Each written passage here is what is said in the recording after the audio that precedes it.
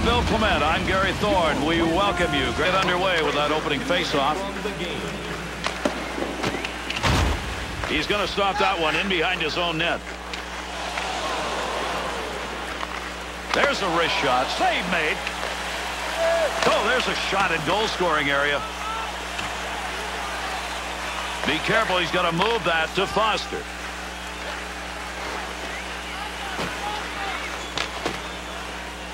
There's one diagonally into the corner. Not a lot on it.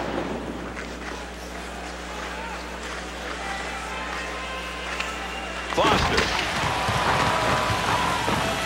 There's the shot. That puck's just going to hit him and rebound away. Nice play. Able to hold that in at the blue line.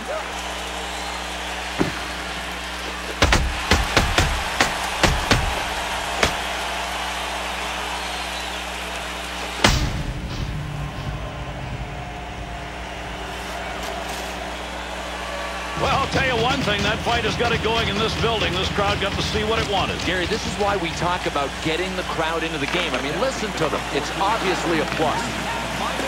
Scores!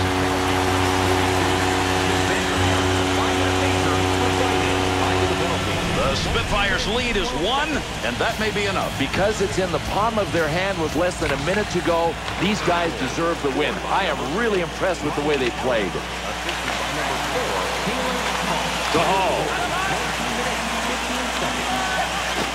Pass up the middle to Whitney. He's got it for one last rush. Not a lot of time.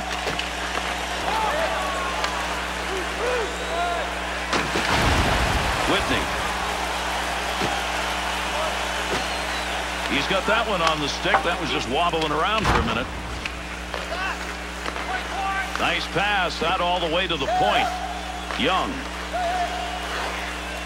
Up the middle through center to Wellwood. That shot comes in close. Save made. Got that one covered. Face off coming.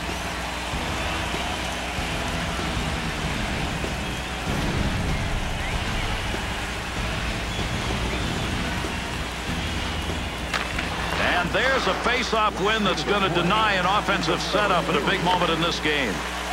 Running out of time here in the third. This one's still up for grabs. Carries that puck into a high offensive scoring area. Got that one covered. That'll get a whistle on it. Look at the gloves. Off. Let's go.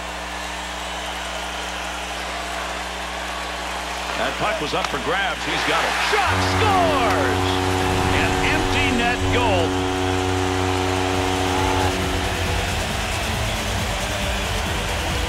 Well, I know they just got scored on, but the way I look at it, no guts, no glory. They had to pull them.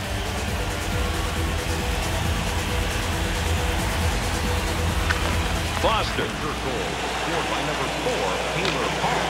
Assisted by number 77. He'll just nudge this one into the zone the other way. Quick opportunity. Takes the shot. Good save. He got in pretty close that time, but nowhere to go. Good pass, board to board, to Horcoff. Leg save. That's the goal-scoring effort right there.